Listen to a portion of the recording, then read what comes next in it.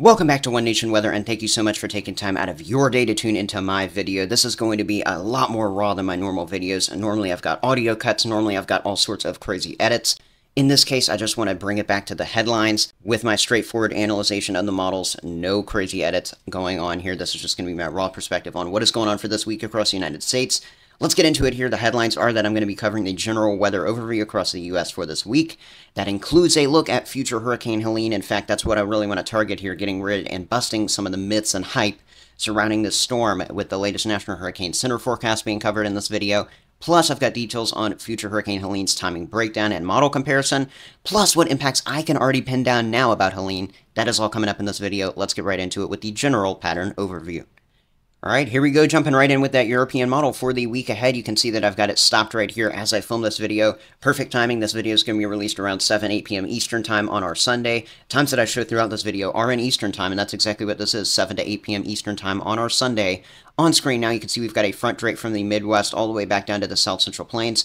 By the time we go into our Monday, September 23rd, 2024, into the afternoon and evening hours, look at this front that we're going to have continuing to make its way to the east overall states anywhere from around New York all the way back down to Texas seeing the impacts of this front with showers and thunderstorms into the afternoon hours. Generally, isolated severe weather could be possible, but overall, we're just going to be watching the isolated heavy rain and flood threat from this front and not much more. No crazy winds, no crazy excessive impacts. There we go out of our Monday into our Tuesday. We see a low develop on the backside of this front. This is going to be the last real system to impact the U.S. before we start talking about the tropics here from uh, Michigan all the way as far south as the South Carolina, North Carolina area, looking at showers and thunderstorms into our Tuesday afternoon. Indiana, Ohio, Kentucky, West Virginia also getting in on the mix on that. But I want you to focus on some of this energy starting to dive down here into the central plains. This is what's going to kind of cut in and pick up what is likely going to be Hurricane Helene down the road. Let me go ahead and play things out so that you can kind of see how this occurs. We're going to have that little piece of energy dive into the southern United States. We start to see the emergence of our tropical entity by the time we go towards our late Wednesday into our Thursday, September 26th at the bottom of the screen probably going to be some sort of hurricane or forming into one by the time we go into our Thursday based on most model guidance. And models have been trending faster with the general landfall time frame for this storm as as of this point it looks like it will be sometime Thursday afternoon, evening, or into our early Friday. And notice how it's really going to interact with that other low that's going to be around Arkansas and bringing heavy rain as far south as Mississippi. In this general area, it's going to have to kind of cut in behind that old front and move in ahead of this new low. So generally that puts places like the Alabama coastline, the Florida panhandle, and southern Georgia really at the highest risk for direct impacts right at landfall or right after landfall. I'll break some of those down in just a minute in more detail. But notice from there, we really begin to see Helene move even further inland. And in fact, I want to go ahead and get right into the details on Helene and everything in terms of scenarios around it. The first thing you really need to know about Helene is that it is not developed just yet in the seven day tropical graphical weather outlook from the National Hurricane Center in Miami, Florida. As of 2 p.m. update, it's probably an increase by the time we go to 8 p.m. right as I post this video. On our Sunday here, we are looking at an 80% chance of development in the next seven days for this storm. It is more of a 30 to 40% chance in the next 48 hours. So into our Monday and Tuesday, it only has about a 30 to 40% chance of development. As it passes by that eastern tip of Mexico, the western tip of Cuba, it's probably going to thread the needle between those two areas. That means more water interaction, and then we're going to see this move up into the Gulf. You can see that trajectory already moving towards that Alabama or Florida panhandle coastline for that landfall just by looking at this graphic. Here is what the National Hurricane Center has to say in terms of its discussion about this storm disorganized showers and thunderstorms located over the northwestern Caribbean Sea and portions of Central America are associated with a broad area of low pressure. Environmental conditions appear favorable for development of the system, and a tropical depression or storm is likely to form during the next few days while moving northward across the northwestern Caribbean and Gulf of Mexico. Regardless of development, this disturbance is expected to produce heavy rains over portions of Central America, Interests in the northwestern Caribbean, Yucatan Peninsula of Mexico, and western Cuba should monitor the progress of this feature. Later this week, the storm is forecast to generally move northward across the Gulf, and interests along the northern and northeastern Gulf Coast should also monitor the progress. Here's a look at exactly what those models and specifically the European ensemble members are basically like a group of some models all averaged out with that black line there. These are what they are showing by the time we go to the end of this week, through the end of this week, I should say. Overall, you can really see that since I posted the most recent video, which was just yesterday on our Saturday here, which was a much more highly edited video, things have really shifted to where there's only one true scenario for landfall, and it's really going to be right up in this area in here, and really the circle be, could be even a little bit smaller than that, at least based on this current, current guidance. Unless something changes really crazily, it looks like the western Florida panhandle, or more like the central Florida panhandle, will see the most direct impacts from the storm. So if you live in this area, you know anybody who lives in this area, or in some of the areas where the track line goes from there, you are expecting some pretty significant impacts. You need to make sure that you are either telling yourself what to do in this situation and knowing your plan, or you are reaching out to whoever lives in this area and making sure that they know their plan, their evacuation routes, all of that kind of stuff. Also, of course, on the entire eastern side of this black line, we're probably going to continue to see plenty of significant impacts as the storm tracks to the north. That could include tropical tornadoes, flooding in the bands, all of those kinds of impacts. So make sure you are ready for that as well in these communities here. Before I get into the model comparison to really show you exactly where the storm could go, what the timing is going to be, what the impacts are going to be, and when, I want to show you the model intensity guidance from tropicaltidbits.com, which really has a floor of around category 1 to as high as a ceiling of around category 3. So anywhere from Cat 1 to Cat 3 being shown on this graphic. I've seen some models that want to go ballistic and bring this as high as a Category 4 storm, so prepare for the worst if you are in that Florida Panhandle, that Alabama coastline, the far western parts of the Florida Peninsula as well. Any of those spots that border the Gulf of Mexico in that general vicinity, please be ready and treating this like it is going to be the strongest possible storm because you always want to be over-prepared rather than under-prepared.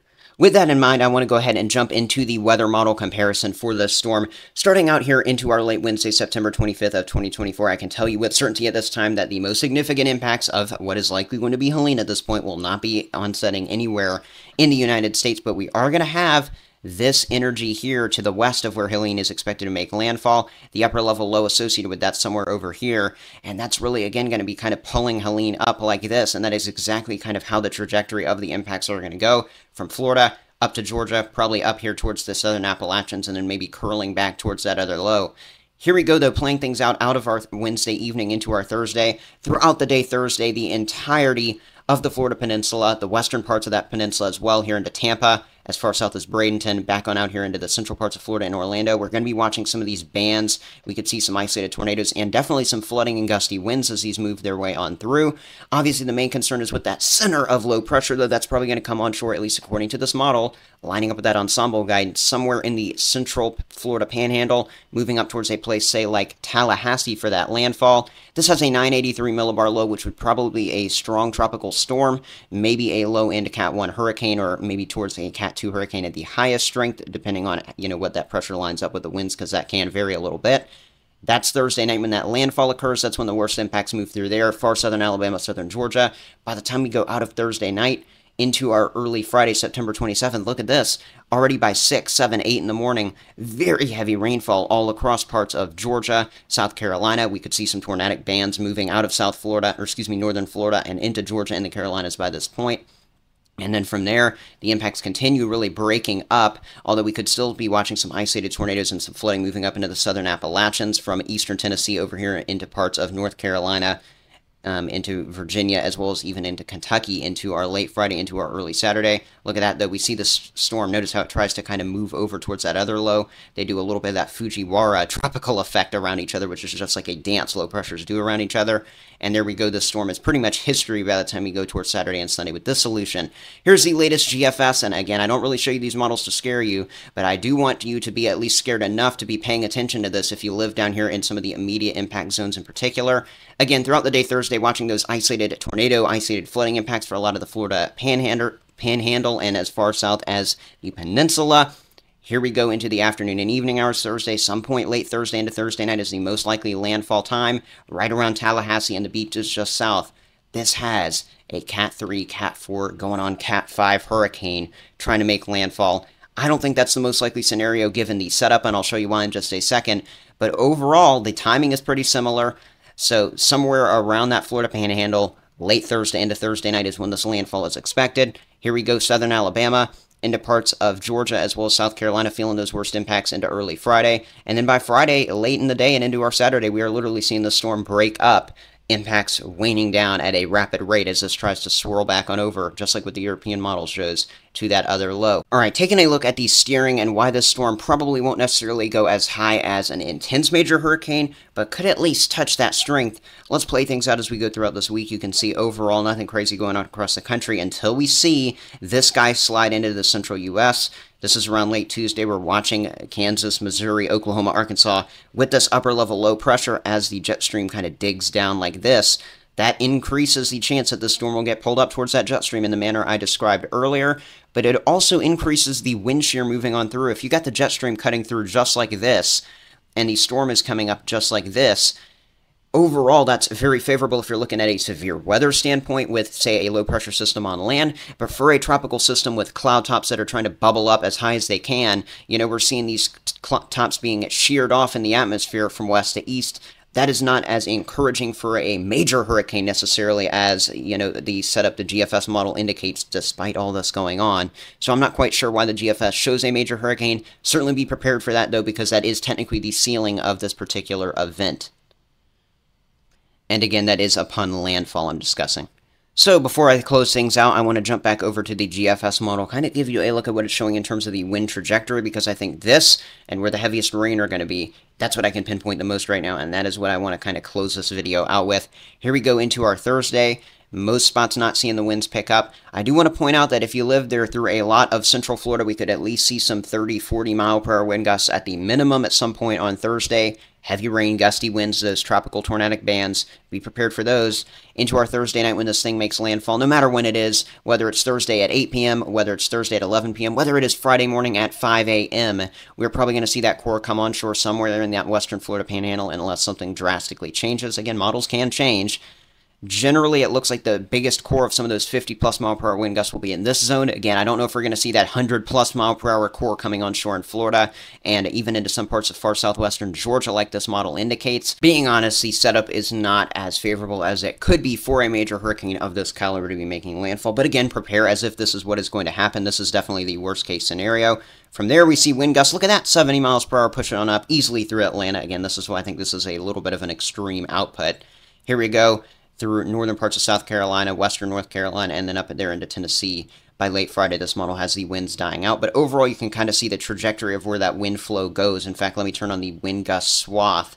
That general swath looks like it's really going to come up there through west central Florida into some parts of south central Georgia and then begin slowly dying out once you get into northern Georgia, the western Carolinas, and up as far uh, to the north as southern Kentucky, where we could at least see some 30 to 40 mile per hour gusts. The GFS model, in terms of its total precipitation, let's go ahead and take a look at that. Here come those rainfall totals and rates. Notice this. There's that swath, and again, it looks like that heaviest rainfall is going to make its way right there through Florida, Alabama, Georgia, up into South Carolina, before slowly fizzling out. We could also see some very heavy rain to the west of this from that upper level system. It's somewhere around Arkansas and Missouri. All right, now we are back to this screen. This is just that trajectory line for the center of the storm. Again, impacts can go outside of the center of the storm. Overall, this is all the data and really that I want to share with you right now, at least on our Sunday evening, September 22nd of 2024. If you have any further comments, questions, concerns, any feedback about this video, even just drop that down below in that section. That is what the comments are for. I love to interact with my viewers and would love to interact with you specifically there. That is it for this video, though. Make sure you're checking out WeatherBell for a free trial to the awesome weather model maps that I use throughout my videos. Uh, I will catch you in the next update, and let me know if you like updates like this, because I will definitely do another one like this, if so, very soon. Hit that subscribe button. I'll see you in the next update.